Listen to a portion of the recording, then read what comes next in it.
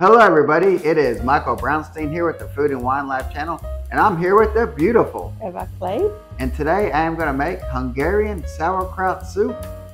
And there's so many different variations of sauerkraut soup throughout Europe, but I'm going with the Hungarian version today because it has paprika sausage, caraway seeds, and sour cream. So let's get into it.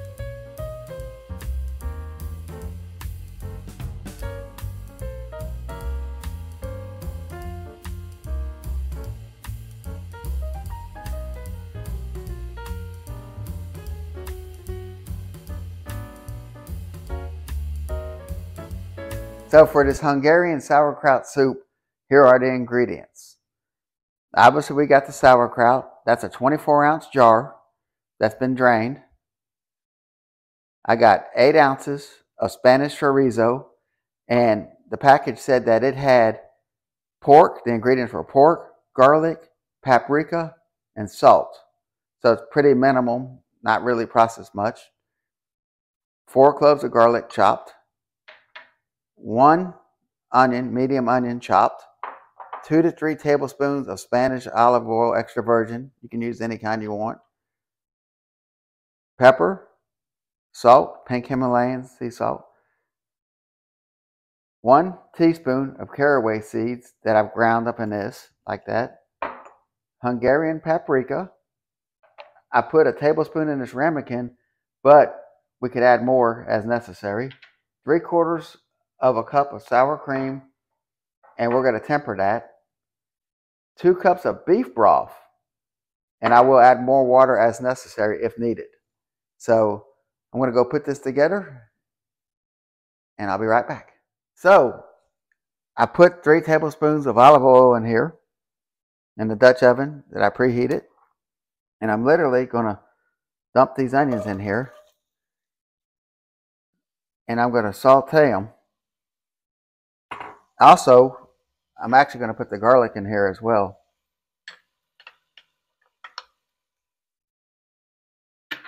And I'm going to saute this up. And then when they caramelize up a little bit, I'll add the um, chorizo in and start putting it together. Okay, so we got these onions and garlic sauteing a little bit. And then the next step I'm going to do is I'm going to actually put the chorizo in here and brown that up. And I actually turned the stove down a little bit. I'm going to kind of cook this together for a minute. And then, not long, I'm actually going to take and put the uh, beef broth in it.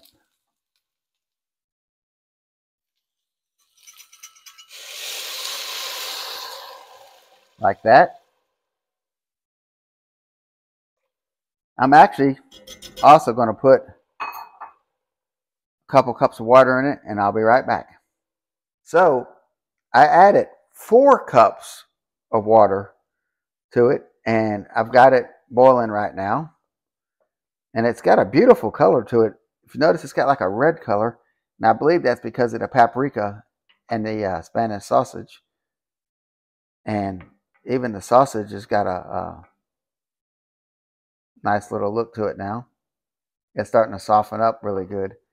So, I'm actually going to put some more ingredients in here and let it cook. But um, what I'm going to do is pour the sauerkraut in next. And kind of let it simmer. I'm actually going to cook it about 30 minutes after I get everything in here. And I got a tablespoon of paprika, Hungarian paprika. I'm going to put that in there, and that's going to even give it a more richer color.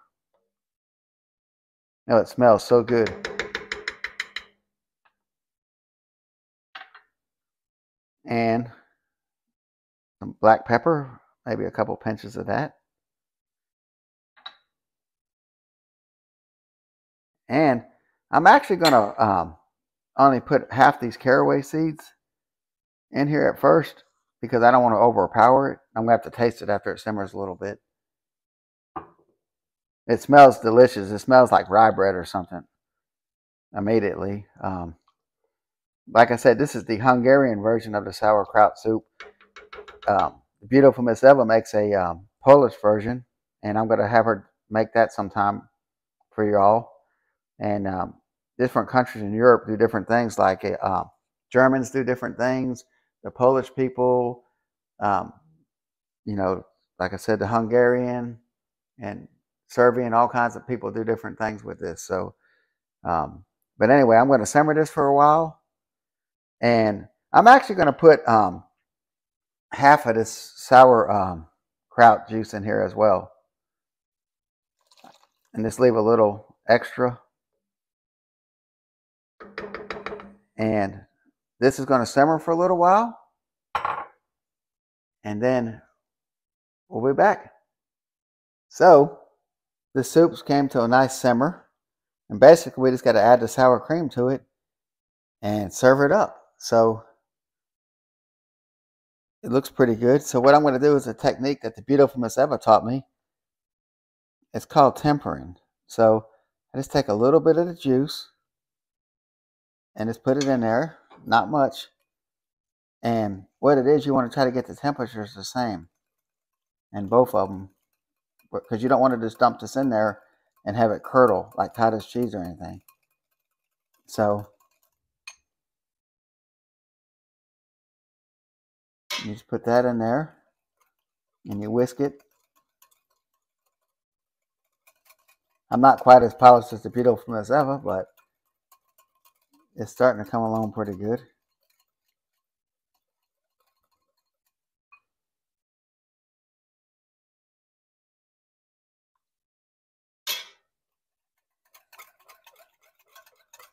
It doesn't matter if you get a few pieces of sauerkraut in there or anything. But um,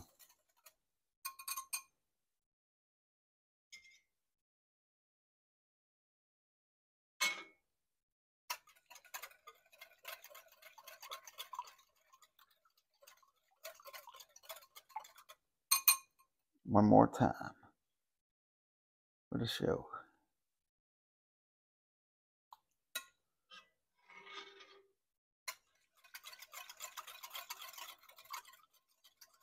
So it's blended and I'm just going to start trickling it in kind of slower like that.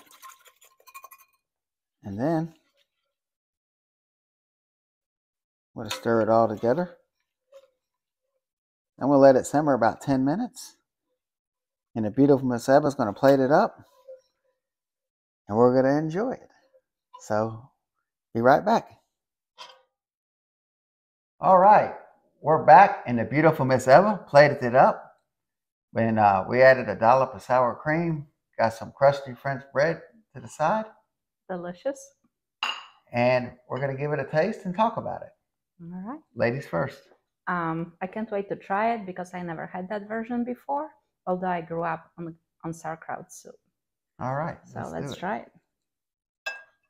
It has interesting color. It's very pinkish, creamy color. Hmm.